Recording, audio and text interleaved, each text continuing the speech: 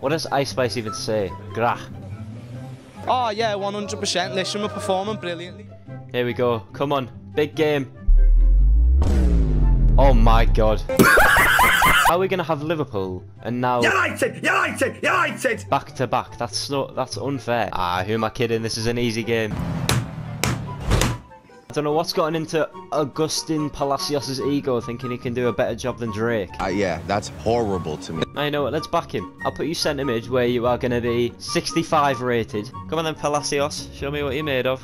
Oh, we did win, to be fair. Don't chat to me! I don't get nervous, but I'm starting to get a bit shaky, you know what I mean? I'm a little bit weak. I mean, not going to lie, if we beat Man City, I would have personally kissed all the players. Do you know what? I reckon we might actually stay in the Prem. Uh, I don't know. This is the last game before January. Thank God. Chelsea, mate, you're shite. We lost to the biggest banter club in the country!